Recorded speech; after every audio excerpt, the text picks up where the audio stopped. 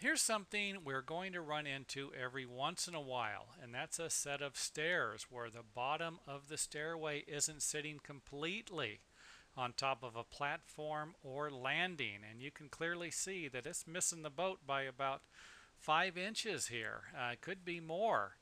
Now, what would happen if the bottom of the stair stringer actually cracked and it wasn't sitting on top of the landing. Well, realistically, this should give you a little more of a clearer picture. And of course this right here should should put it all together for you. You've got to make sure that your stringers are sitting on top of a solid surface. Even if this stairway was to crack um, and it was positioned properly you're not going to have it fall. You're not going to have it create a safety problem so again, um, if you're going to build any stairs and you're going to uh, need a little more room for your stair stringers to sit on, then realistically pour some additional concrete. Um, build the platform a little longer. I mean, realistically, this stuff isn't that difficult to fix, but the problems that it creates could be um,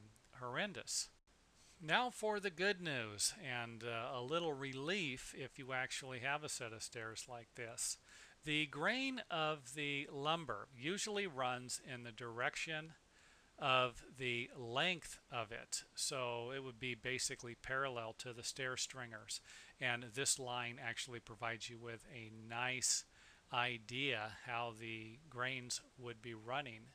And of course this is the area where it's going to crack providing us with something like this. And in this illustration here you can clearly see that some of the stair stringer is still sitting on top of the platform. And of course this probably wouldn't allow it to fall all the way to the ground.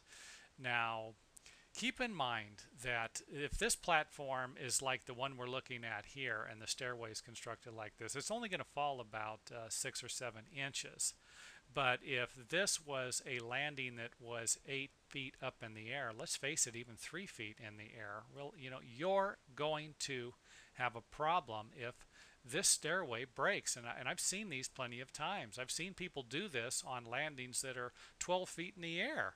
So don't, don't, uh, don't get confused. I'm, I'm not making a mountain out of a molehill here. This could be a bigger problem than you would ever imagine. So realistically, to sum it all up in a nutshell, if you're going to build stairs, make sure that you have um, solid support underneath the stair stringers. The entire stairway needs to have this support um, just in case you end up with some type of a lumber failure.